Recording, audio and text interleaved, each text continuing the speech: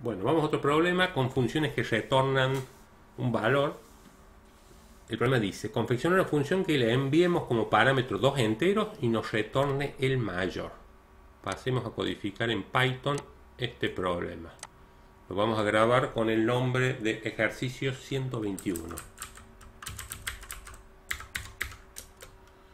La función retornar mayor va a recibir dos datos y va a devolver el mayor de esos. Hay varias formas de hacerlo. Podemos hacer, si B1 es mayor a B2, podemos decir que en la variable mayor vamos a guardar B1. Y si esta condición da falso, por el else en la variable mayor guardo B2. Y a la altura del if vamos a retornar mayor en el bloque principal. Vamos a proceder a cargar los valores por teclado tipo entero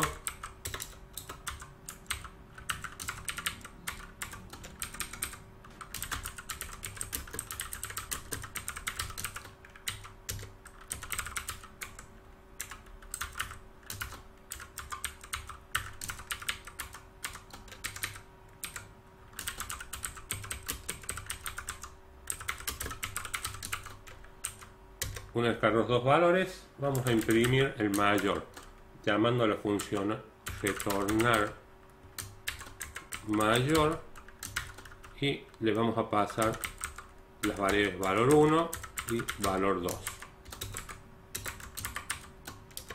Bueno, procedamos a ejecutar y probar. Vamos a ingresar 20 y un 3. Nos muestra el 20 que es el mayor y al revés si primero cargo el menor y el segundo el mayor nos devuelve el 34 que es mayor. Esta es la sintaxis nuevamente siempre funciones que devuelven un dato tiene que estar obligatoriamente la palabra return y el dato devolver. Podemos hacerlo más corto sin utilizar esta variable local mayor retornar directamente ya sea por el verdadero ya sea por el falso y tener esta sintaxis. Cuando encuentra la palabra clave return, el lenguaje Python termina la ejecución de la función y sale devolviendo el contenido de B1. Podemos probarlo. Si cargamos 10 y 20, tenemos el mayor, el 20. Hemos llamado a la función retornar mayor y el dato devuelto se lo estamos pasando a la función print.